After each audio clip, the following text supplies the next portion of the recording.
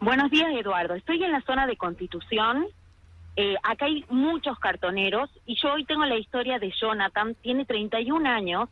Él hace dos años se dedica a juntar cartones. Él era trabajaba en cocina en un, en un bar, perdió su trabajo y no le quedó otra opción eh, más que dedicarse a juntar cartones. Trabaja más o menos jornadas de 8 horas, eh, junta 40 kilos de cartón y le dan dos mil pesos. Eso es lo que le sale toda eh, la jornada laboral. Él se está escuchando en este momento. ¿Qué tal? ¿Cómo, Hola, le va? ¿Cómo anda, Jonathan? ¿Cómo andan? ¿Todo bien? ¿Qué hacía usted antes de, de- de buscar cartones? ¿Qué, ¿Qué hacía usted antes de ser cartonero?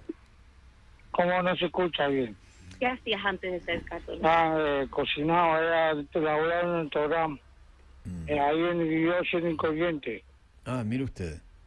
Y hace, Y hace- bueno, me quedé sin trabajo y bueno, y ahora estoy empezando a juntar cartón. Bueno, ahora estoy en situación en calle. Mm, Con mi familia no me hablo mucho.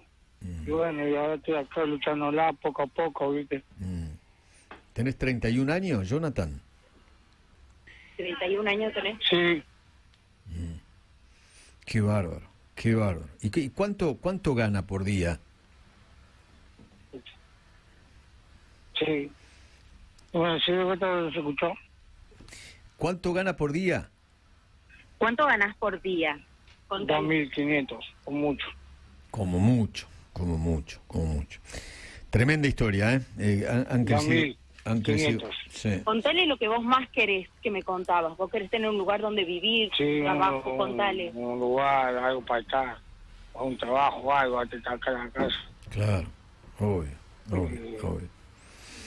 Acá es feo, a las noches me mojé todo. Contale lo que te hacen en la calle, cuando vos estás durmiendo, que por ahí pasan y te pegan, todo eso que me contabas. Sí, me pegan todo. Me sacan la cosa a veces, pero bueno. Acá hay que lucharla, ¿no? Pero Tremendo, bueno.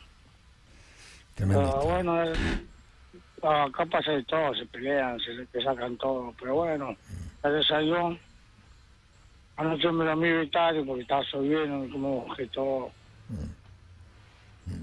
Y bueno, y justo vino la y bueno, y ahora estaba durmiendo un rato. Ahora me voy a laburar con el cartón. Y bueno, luchándola y después me voy a un comedor. Yamine, gracias por la historia, ¿eh?